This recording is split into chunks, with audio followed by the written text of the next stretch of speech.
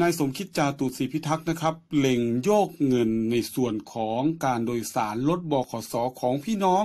ชาวต่างจังหวัดในบัตรรัฐสวัสดิการ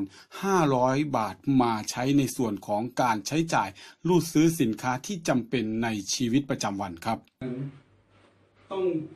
นายสมคิดจาตุศรีพิทักษ์นะครับรองนายกรัฐมนตรีนะครับ เสนอให้โยกเงินนะครับในส่วนของ ค่าโดยสารรถบขสของพี่น้องชาวต่างจังหวัดนะครับ เอามาเป็นค่ารูดซื้อสินค้าที่ใช้ในชีวิตประจำวันจะมีผลดีกว่าครับ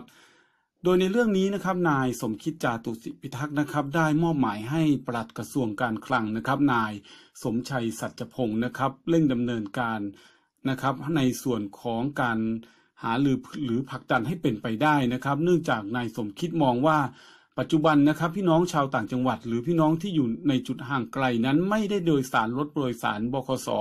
หรือไม่ได้ไปไหนมาไหน หรือบางที่ไม่มีแม้กระทั่งบขสที่จะให้พี่น้องประชาชนไปขึ้นนะครับ เพราะฉะนั้นหากเปลี่ยนมาเป็นการโยกซื้อสินค้าในส่วนของเครื่องใช้อุปโภคบริโภคจะมีผลประโยชน์มากกว่าจะถึง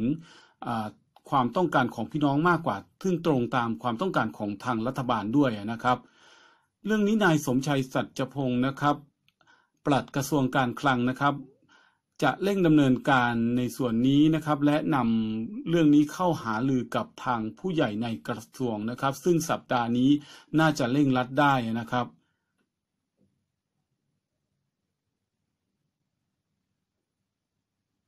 เรื่องนี้เองนะครับ นายสมคิดจาตุศรีพิทักษ์นะครับ ก็ย้ำว่าไม่เกินงบประมาณดำเนินการ และไม่ต้องจัดสรรหางบประมาณเพิ่มจากไหนนะครับ เพราะทางรัฐบาลเองได้จัดสรรงบประมาณส่วนนี้เผื่อไว้อยู่แล้วนะครับ จะไม่เกินจำนวน 44,000 ล้านตามที่โครงการของรัฐบาลตั้งใจไว้อย่างแน่นอนนะครับ แต่กลับจะเป็นผลดีนะครับ ในส่วนพี่น้องประชาชนจะซื้อสินค้าได้ 7-800 บาทเลยทีเดียวนะครับ